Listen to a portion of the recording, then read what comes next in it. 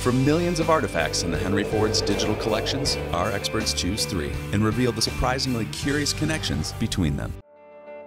A butter churn, a Heinz pickle ad, a photograph of old men on a pier.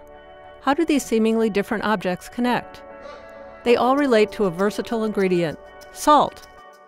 In early America, farm women turned cream into butter with a churn. This churn was made of a durable, leak proof pottery called stoneware, shaped on a potter's wheel.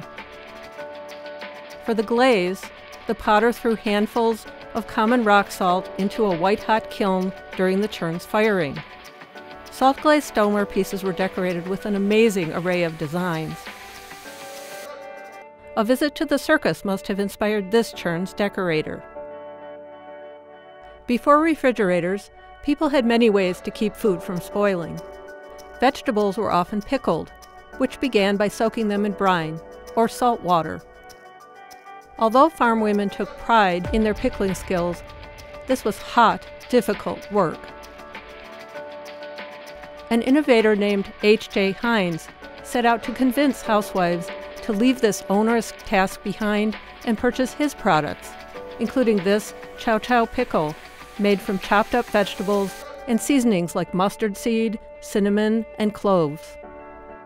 Although most photographers in the early 1900s were men, a talented woman named Jenny Chandler took this photograph. Over her prolific career, she left an amazing document of daily life.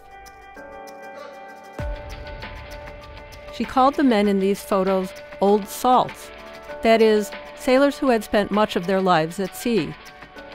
The term salt referred not only to the ocean's salty water, but also implied wisdom and experience. Phrases like salt of the earth and worth one's salt are still commonly used today. So, what do a butter churn, a pickle ad, and a photo of weathered sailors all have in common? Salt.